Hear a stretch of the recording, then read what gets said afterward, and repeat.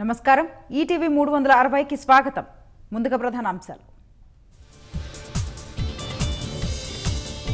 జోరు వానలతో కృష్ణమ్మ పరవళ్ళు. ఎగువ నుంచి ప్రాజెక్టులకు భారీగా వరద. రన్వే సరిగ్గా కనిపించకపోవడమే ప్రమాదానికి కారణం. వెల్లడించిన ఎయిర్పోర్ట్స్ అథారిటీ ఆఫ్ ఇండియా. దేశంలో రోజు రోజుకు విస్తరిస్తోన్న కరోనా. ఇరవై నాలుగు గంటల్లో అరవై ఒక్క వేల ఐదు వందల ముప్పై ఏడు కేసులు తొమ్మిది వందల ముప్పై మూడు మంది మృతి. రాష్ట్రంలో విజృంభిస్తోన్న కరోనా మహమ్మారి కొత్తగా రెండు వేల రెండు వందల యాభై ఆరు మందికి సోకిన కోవిడ్. మాజీ ఎంపీ నంది ఎల్లయ్య కరోనాతో కన్నుమూత. హైదరాబాద్లోని ఆసుపత్రిలో చికిత్స పొందుతూ మృతి.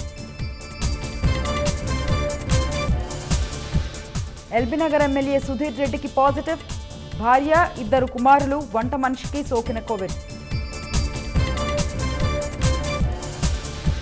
హైదరాబాద్లోని నౌహిరా షేక్ భూములు స్వాధీనం. హీరా గోల్డ్ కేసులో మూడు వందల కోట్ల విలువైన ఆస్తులు జప్తు చేసిన ఈడీ. వంద బిలియన్ డాలర్లు దాటిన మార్క్ జుకర్బర్గ్ ఆస్తులు. ఫేస్బుక్ షేర్ల లాభాలతో పెరిగిన సంపద.